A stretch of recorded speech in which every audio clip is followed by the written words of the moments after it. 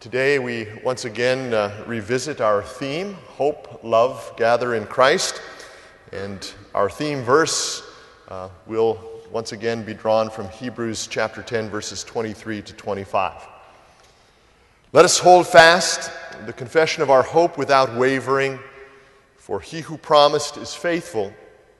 And let us consider how to stir up one another to love and good works not neglecting to meet together as is the habit of some, but encouraging one another, and all the more as you see the day drawing near. This is the word of the Lord. Thanks be to God. Our thanks to the chorale for whetting our appetite for the musical feast to come this weekend, Christmas at Concordia. And we certainly pray God's blessings on all of you who will be a, a part of that this weekend two sellout crowds, I understand, for tonight and tomorrow night, and a wonderful way for uh, our campus to, to celebrate Christmas. Well, it has come down to the very end. And to practically any observer, the situation looks kind of bleak. You've more or less fumbled your way through everything up to this point, and now, now the clock is ticking down to the last few moments, and you're scrambling, scrambling like mad to finish well. But there doesn't seem to be much hope of pulling this out. What do you do? You punt, throw in the towel, give up. You know, I have this recurring nightmare, and I'm back in school. And uh, sometimes it's junior high school, sometimes it's high school. But suddenly, it's, it's the last day, and I'm scheduled to take a final exam. And usually, it's a math class. The only trouble is, I have not attended said class for weeks, for months, and I haven't done any of the work. Somehow I really messed up, and now I'm faced with this desperate, this hopeless situation. What do I do? I fail. And perhaps my nightmare too closely resembles the reality of what you're experiencing right now, wide awake. Pinch yourself, you're not sleeping. The end approaches, and you may be in deep trouble. You, you're going down, and it appears there's absolutely no way that you can pull this thing out. No amount of last minute scrambling is going to make any difference at all. What do you do? Punt? Throw in the towel? Give up? Do you fail? Some might see this as the hour of darkness, the end of the line, the, the day of final reckoning. Others, on the other hand, may look at this nightmare, this, this train wreck, this desperate situation, and call it Tebow time. That's right, Tebow time. For those of you who don't know the phenomenon to which I refer, let me tell you about Tim Tebow. Tim Tebow is the Denver Broncos quarterback. Full disclosure, for those unaware, I am a lifelong Denver Bronco fan, and now a fan of Tim Tebow's too. But any follower of the National Football League will tell you that Tim Tebow has been a remarkable story this season, written off by nearly every expert as being without the requisite skills to play quarterback in the NFL. Tebow began this season mired deep on the Broncos' depth chart, unlikely to see any game action. Bronco fans, however, wanted to give this guy a chance. After all, he was a very successful collegiate player. He won the Heisman Trophy, a couple of national championships at the University of Florida. And besides, what did the team have to lose? With a dismal 1 and 4 start, the coaches finally relented and put Tim Tebow on the field. And in every game that he has started, Tebow has usually lived down to the reputation that he had as a quarterback with too many deficiencies to be successful, and the team has consistently fallen behind for, for half to three quarters of the game. But six times in seven tries, Tebow has led the Broncos with late game heroics to victory and even to a, a tie for first place in the division, a legitimate chance at the playoffs. And Denver's not merely won, last, late last minute, fourth quarter, come from behind, snatch victory from the jaws of defeat, heart stopping thrillers. Some say miracles.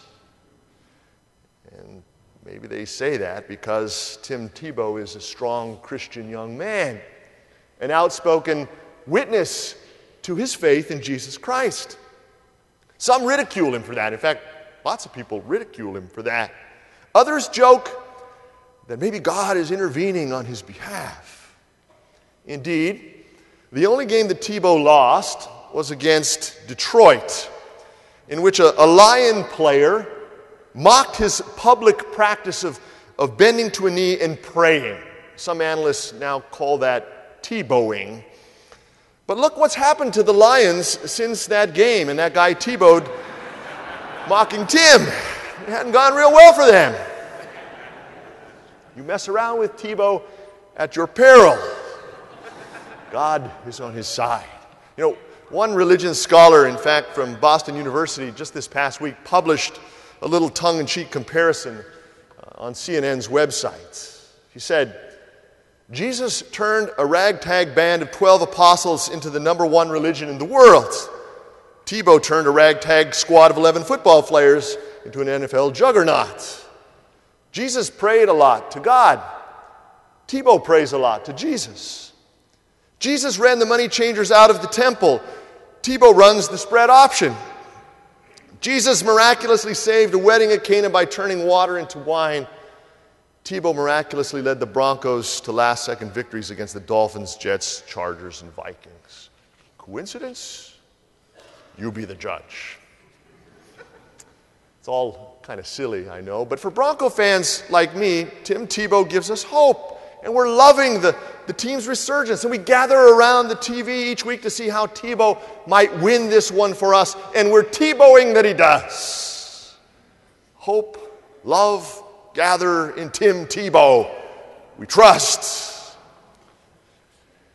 I suspect that this, uh, this too corny for Hollywood scripts will not have the kind of ending that Denver fans might want to see. Much as the Bronco faithful hope for a Super Bowl victory, would love to see Tebow succeed and gather to watch as this plot continues to unfold, we realize that our dreams are not likely to have super happy ending. In fact, nightmare still remains a distinct possibility. Packer people envision a much more plausible scenario back to back world championship success. There are only true believers, no skeptics when it comes to Green Bay's quarterback. Aaron Rodgers is the real deal. And when the final gun sounds at the end of this year's Super Bowl, we believe that Aaron will once again hoist up the, the Vince Lombardi trophy yet again. But we don't know for sure. And it's entirely possible that we will have a deflating, depressing, discouraging defeat along the way.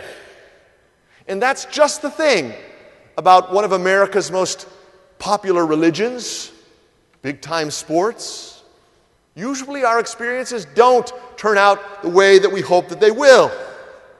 The National Football League is, is a surrogate spirituality for many. Sunday, all through the season, worship occurs in shrines like Lambeau. And when we go, we all know the liturgy when to stand up, when to sit down. We know the chants. We know when to speak in unison. We know when to reply to prompts responsively. Sunday is the holy day, and we hold it sacred. And for many, it fills a, a spiritual void in their lives. And people gather with like minded congregants who love their team and hope for victory. Gather, love, hope, and sometimes they even get what they want. But the appetite for meaning is filled only with empty calories. And endings often bring disappointment. We need something more substantial, more meaningful to fill up those empty places in our lives. We need something more reliable to hold on to in, in the hour of darkness at the end of the line on that day of final reckoning. Our theme verse from Hebrews for this year begins with the end in mind.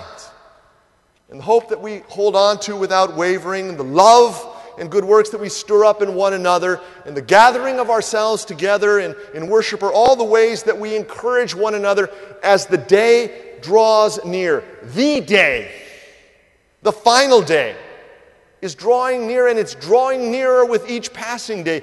And when that day comes, and it is coming, we'll look back on how we have more or less fumbled our way through. And no amount of last minute scrambling to make up for previous poor performance is going to help us to make the grade. And left on our own, we might as well punt, throw in the towel, give up. But that's exactly why all of this hoping and loving and gathering is so important to us along the way. Because it encourages us and reminds us that we know that we know what's going to happen. We know for sure, for absolute certain. He promised, He is faithful, and we watch with Advent anticipation as the story unfolds, knowing exactly how it's going to turn out. The champion enters the field. He's the same one who stepped up before. Remember the last time? All appeared lost. All of us were. Defeat appeared imminent. He was hung out there to die. And bleak turned black as his time expired and he breathed his last. It was finished. But just when hope was splattered and love seemed shattered and those who gathered scattered and we didn't have a Tebow in the world. Jesus rose triumphant from the dead. He comes again. He's coming back. When, not if, when he returns in glory, there will be no doubt. When, not if, when Jesus comes again, there will be no disappointment. When the last day, the everlasting day dawns, our fumbles will be forgotten and our faults will be forgiven because Jesus will not fail us. We will not be failed. Good news on the last day of a semester. We will not be failed. Good news on the last day that draws near. Until then, we hope without wavering. We love one another through service and good works. We, we gather to encourage each other in Christ, for he who promised is faithful. And we hope and we love and we gather in his name.